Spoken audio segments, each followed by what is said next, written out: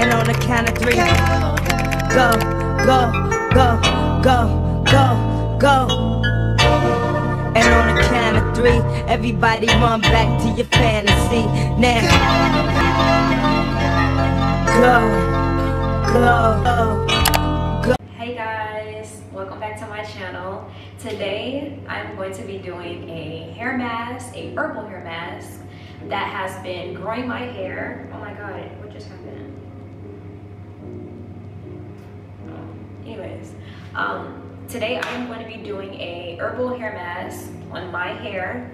Um, and this particular hair mask I found in my local international grocery store and um, and it was in the Indian ethnic aisle. And these particular powders that I'm going to be putting into my hair um, I am going to be using Brahmi Brahmi powder. Oh my goodness please focus. I know it's a lot of light using some Brahmi I'm gonna show it also in the, the other slide, but I'm gonna be using some Brahmi powder. I'm gonna be using some neem powder. I am going to be using moringa powder, and I'm going to be using aloe vera powder inside of my hair. So these four powders mix all together, and I'm going to put um, a little bit of, I'm not, I usually put conditioner in my hair for slip with the powder, but this time I'm gonna use uh, just oil and I have a few cream products for slip this time.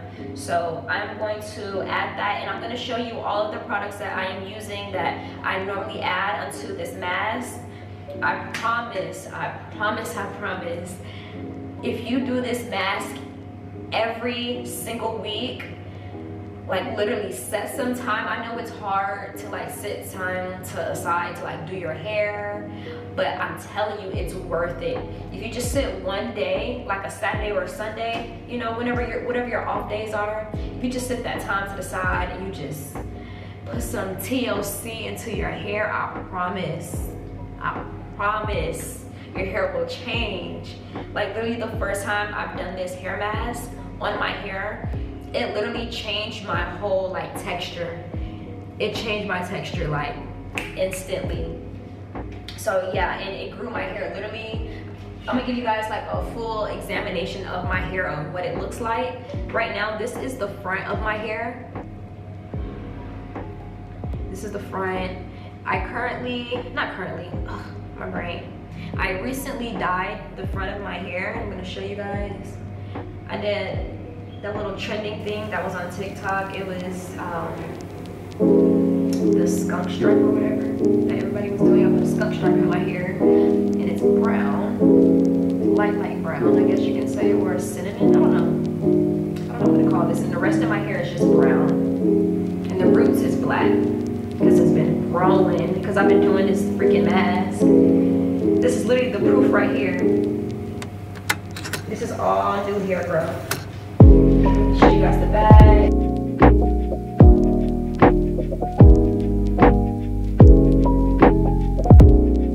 So yeah, my hair is literally so freaking soft. I literally don't know what my texture is. 3C, 4A maybe, I don't know. It's so soft.